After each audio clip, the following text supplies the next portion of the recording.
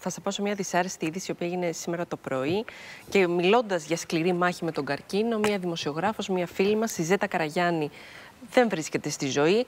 Έχασε τη μάχη, πάλευε και εκείνη πολλά χρόνια με τον καρκίνο. Θέλω να σου πω ότι το Νοέμβριο του 2020 είχε κάνει η ίδια μια ανάρτηση γροφιά και είχε ανακοινώσει για το πώς βίωνε αυτή την αρρώστια, αυτό το αγκάθι, αυτό το πράγμα που δεν ξέρω πώς να το χαρακτηρίσω και πραγματικά μας είχε συγκινήσει πάρα πολύ. Δυστυχώς όμως έχασε τη μάχη και την ε, είδηση του θανάτου της την έκανε γνωστή ένας ε, δημοσιογράφος φίλος της, ο Βασίλης Τσατσάνης, μέσα από τον προσωπικό του λογαριασμό στο, στο facebook και έτσι η αλήθεια είναι ότι μας... Να μου επιτρέψει λίγο κάπως έχουμε παγώσει. Βέβαια. Τα θερμά μου συλληπιτήρια στην οικογένεια. Δυστυχώς. Βέβαια, και σε όλο το δημοσιογραφικό κόσμο.